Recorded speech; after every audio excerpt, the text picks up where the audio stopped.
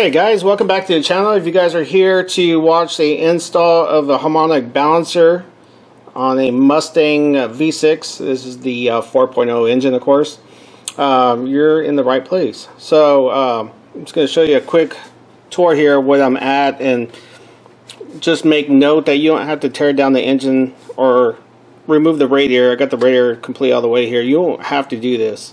Um, I'm actually replacing the radiator and, and, some other components here, so I just removed everything. It'll make it easier to video as well. So basically what you got to do is uh, remove the flat the fan shroud will give you per, uh, enough clearance to actually access the the balancer itself so you can tell here I already got it set up I have an old belt on here that I have strapped down with just some vice grips on both sides on both sides here just to hold it uh, just to get the uh, crank bolt out um, and also to install it to spec. Uh, one thing you want to pay attention to is here's the sensor here's your crank sensor right here so you got to be careful with that because most of it is plastic and so if you hit it uh, you're going to crack it you're to end up buying a new sensor so just be careful with that. I'm going to show you some of the tools here in a second on the bench uh, what we're going to use to uh, pull this balancer off. Alright, so if you're like me, you have a puller kit like this. Uh, we're going to use this uh, to pull off the balancer off the car. Um, the only problem with this is Ford actually recommends their own part, a special part to actually remove it. Um, there's a big problem with that, and I'm going to show you here in a second if I can find what I do with it. Oh, so the crank bolt looks like this and so it's got a quite a big head on here. And so what happens here is if I bring the balancer see if we get enough light so you can see it through here. You can tell it's a very small hole to actually reach the crank itself. So uh, typically on these sets here these puller sets you know this is your typical rod that pushes through. And so what happens is you know that's not going to reach the crank but luckily they make these where you can actually pull these off and put different extensions on you know like different different types for this puller. So thankfully they, they have that. You can take that off. So we're going to use so I'm going to use an old quarter inch extension here that no longer is usable. And uh, we're going to go ahead and fit it into this piece here and use it as our pusher onto the crank. Um, quarter inch is perfect because this part here actually fits perfectly into the hole and centers it perfectly in there. So I think it'll, it'll be enough reach just to use this. So we're going to be using this to help us push it off. And so uh, I guess another thing too to keep in mind, you notice that I showed you a bolt. Uh, this is a torque to yield bolt. And so if you wanted to do it by spec, uh, recommended by Ford is to replace this bolt.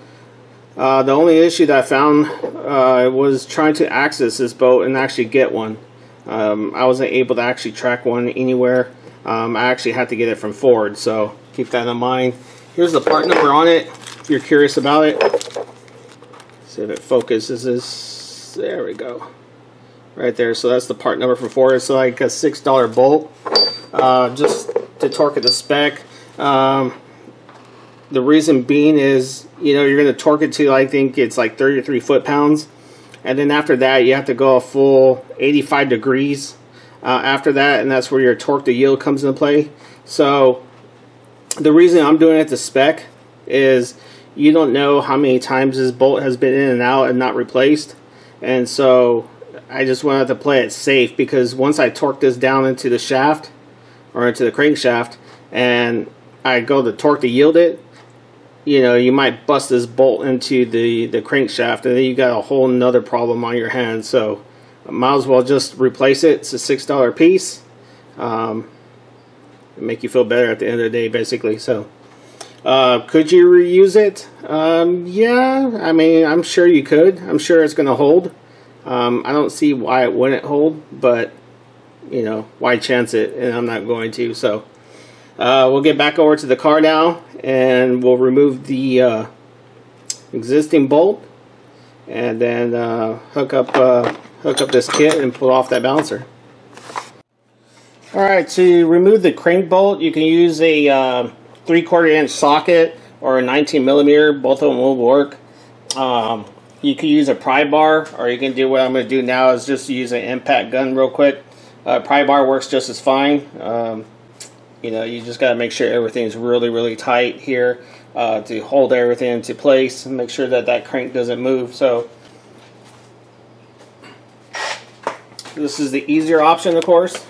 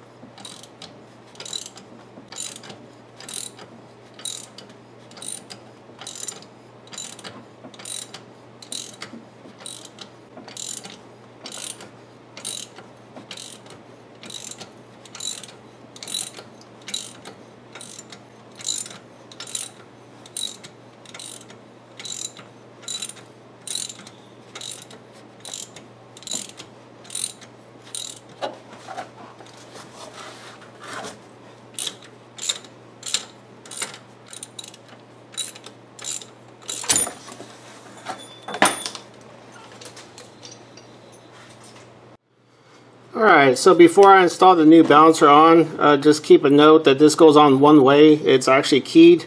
Um, but I'm going to go ahead and grease out the, the outer and the inner just to help it uh, kind of glide onto the crankshaft. Um, also on the car, you want to inspect your uh, front crank seal.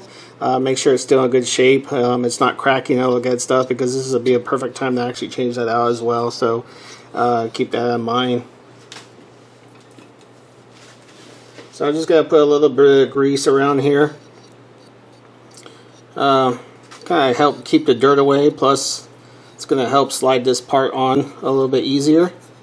So uh, I like things being a little bit easier.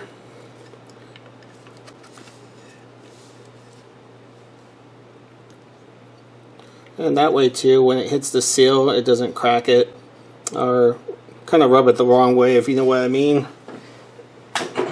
So, doesn't have to be too much, but I think that should do it. Uh, Ford also says you need a special installer to install this. Um, I don't think that's completely accurate. I think we can install this just with a bolt uh, and maybe a, a little tap to kind of get it started. So uh, we'll get over to the car and get this thing back on.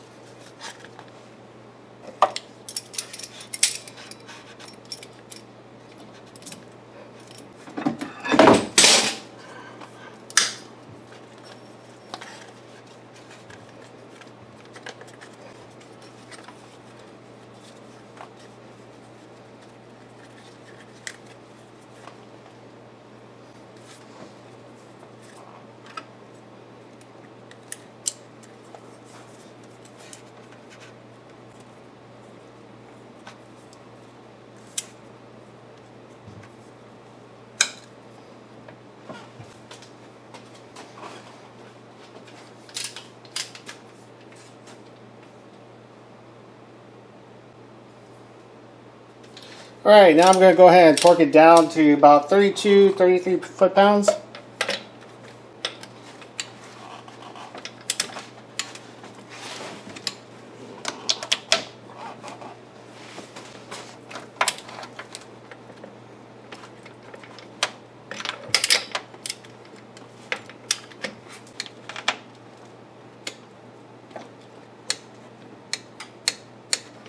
Okay.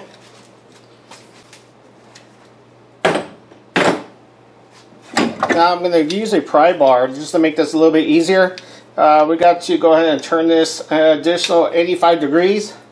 Now I don't, I'm going to use a pry bar so I don't have a fancy torque wrench to tell me what degrees this is going to be actually uh, tying down to. So another thing you can do, which we're going to do here just to kind of show you. So I just made a little template, it's just 85 degrees. Uh, we're going to get it around that range or close to it. Um, I think if we're close, we're going to be good anyway. So I'm going to just kind of eyeball it here, basically. I'm going to line it up with my pry bar. And kind of give me that range of what I'm getting at. If it's not dead on, I'm not worried about it. I do not think this bolt will come loose. So, let's see if we can get there.